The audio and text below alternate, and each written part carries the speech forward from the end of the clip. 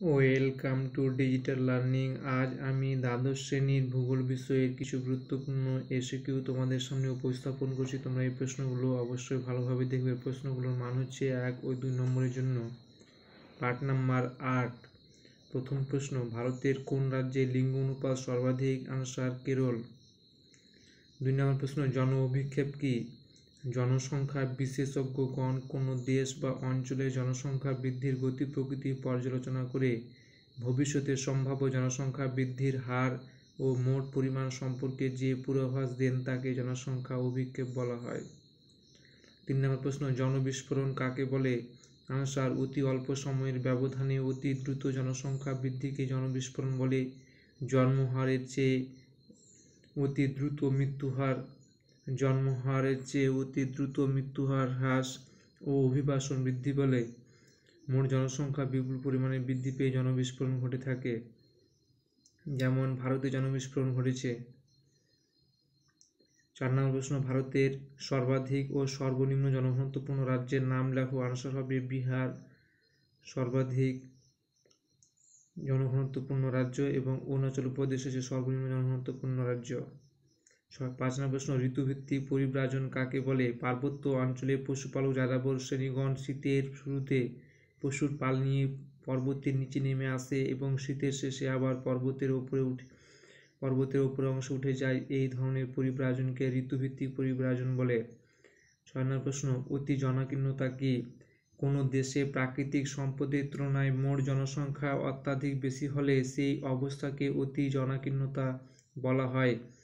কাম্য জনসংখ্যার অতিরিক্ত মোট জনসংখ্যা হলে জনকীর্ণতা দেখা যায় যেমন ভারত, বাংলাদেশ, চীন। সাত নম্বর প্রশ্ন, জনসংখ্যা পিরামিড বা বয়স বা বয়স লিঙ্গ পিরামিড বলতে কি বোঝায়?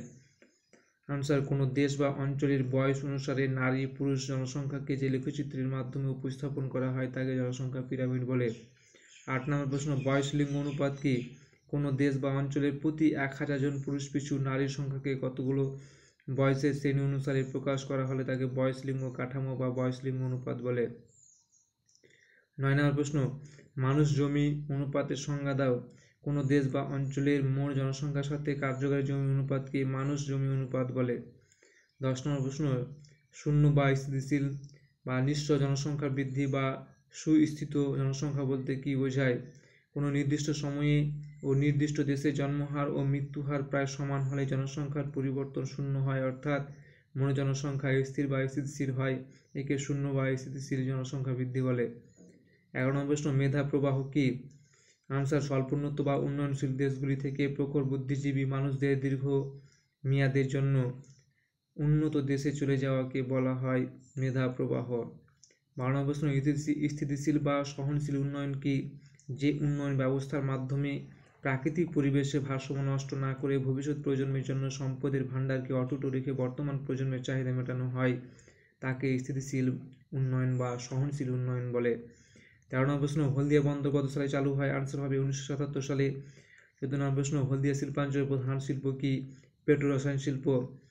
পনেরো নম্বর প্রশ্ন ছত্তিশগড়ের সর্বোচ্চ শৃঙ্গের নাম কি? আনসার হবে গৌরীলতা শৃঙ্গ। ষোলো নম্বর প্রশ্ন, ছত্তিশগড়ের প্রধান নদীর নাম কি?